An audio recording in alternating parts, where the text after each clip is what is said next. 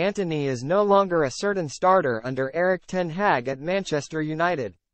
Erik ten Hag has made his true feelings about Antony clear after naming the Brazilian on the Manchester United bench for the second successive game.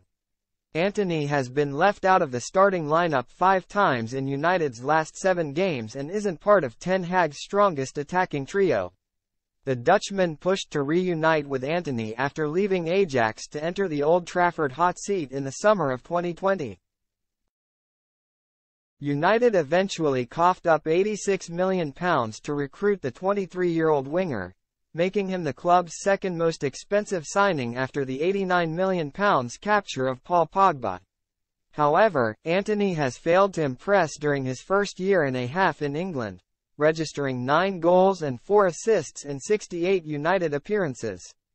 His goal and assist against League Two Newport County in the FA Cup fourth round were his only direct contributions in 24 games this season. In his program notes for Sunday's Premier League clash against West Ham United, Ten Hag hailed Antony for his involvement in the 4-2 win at Rodney Parade. Antony will take a big boost from scoring his first of the season, Ten Hag wrote.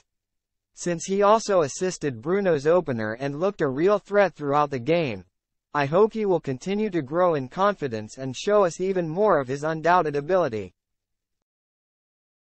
Ten Hag's praise of Antony came before Thursday's dramatic 4-3 triumph against Wolves at Molineux, though.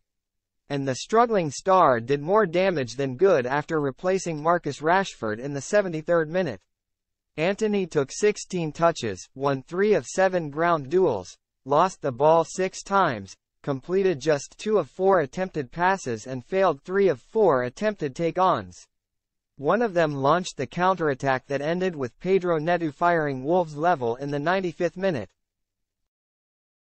Kobbie Mainoo, who has scored more goals in his last two games than Antony has all season, rescued the visitors with an incredible solo strike shortly after. Antony's bench role in five of the last seven matches suggests that Ten Hag no longer views him as a better option than Alejandro Garnacho, who is thriving on the right wing.